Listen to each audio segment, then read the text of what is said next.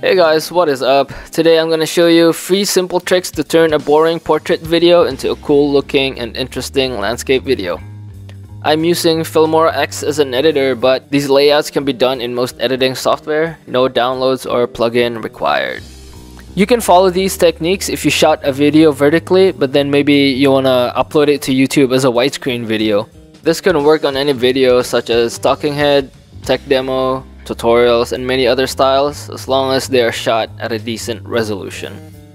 For this tutorial, we're gonna use a guitar playthrough. Let's see it unedited.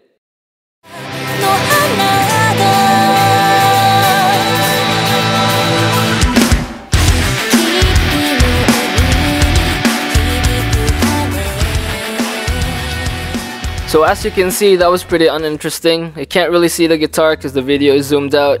The blank space on the side looked really ugly. And if you watch this vertically on a phone, it's gonna look even smaller. Alright, so the first trick that we're gonna do is to add a zoomed in version of the video behind the original. This might not look the best, but it's super easy. All you have to do is duplicate the video, enlarge it, and put it behind the main video.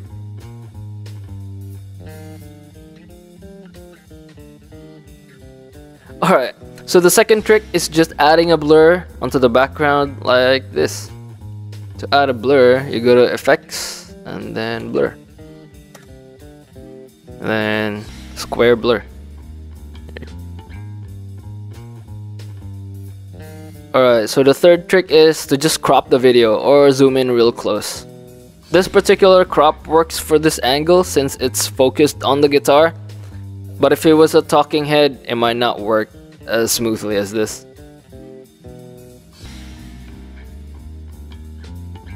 So the next trick is my favorite, and I call it dual shot. It's not actually called like that, I just make names just for the sake of it. But it looks pretty cool.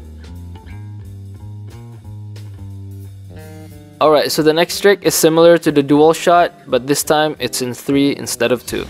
For me, I always make the center clip bigger than the sides, that way it doesn't look too repetitive. It actually kind of looks like a dance video almost. I got this idea from Tim Henson from Polyphia.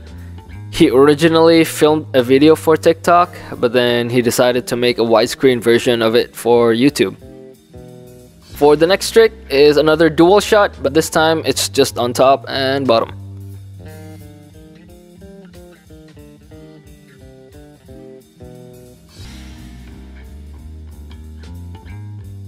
The next trick is to crop the video from top and bottom, leaving a blank space behind. Uh, makes it look cinematic. This is also called letterboxing. There's actually no black bars there, it's, it's just blank.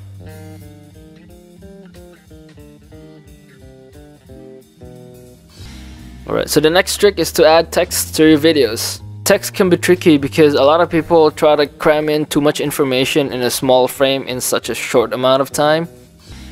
And just remember that fewer texts are always easier to read.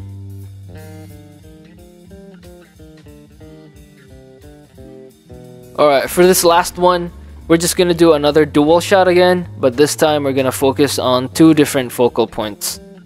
For this example, we're gonna focus on the face and on the guitar.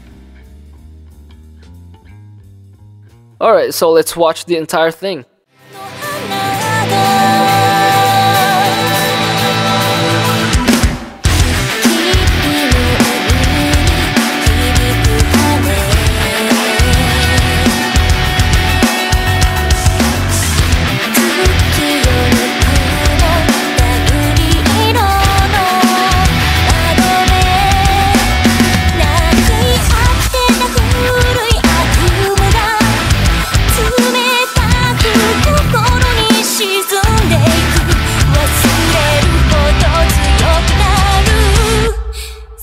Just keep in mind that you don't need to do all these layouts in a single video. You might just need to use one or two or maybe three or a few. You can even combine some of them. At the end of the day, just use whatever works best for your project. Alright guys, I really hope you found this useful. If you guys like this, then please leave a like, subscribe, comment down below. Tell me what you think. Maybe you got your own tips as well. Let's chat down below. Anyway, that's it for me guys. Thank you so much for watching and I hope to see you in the next one. Alright, peace out.